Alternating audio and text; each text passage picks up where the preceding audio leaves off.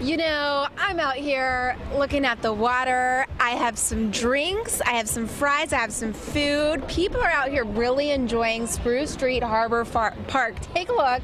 We have tons of people out on the Adirondack chairs, people walking the boards, people grabbing some food, and people are relaxing in the hammocks as well. I'm joined by Emma Fried-Cassorla, Director of Marketing and Communications here at the waterfront. So, what all is new and exciting food wise here at Spruce Street Harbor Park? So, food we are very excited about. We have Hip City Veg joining us this year, which is a great new addition.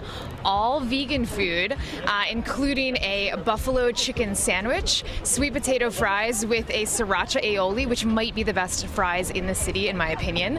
Uh, we also have a turmeric tangerine lemonade. Mm. Uh, we have some great ice cream from Franklin Fountain, and if you want to have some vegan food, uh, they make vegan ice cream as well. And frozen drinks. And frozen drinks, most importantly. those, right? some margaritas and strawberry daiquiris. All right, so over 500 events here at the waterfront this summer. So this is the perfect place to really come and check them out.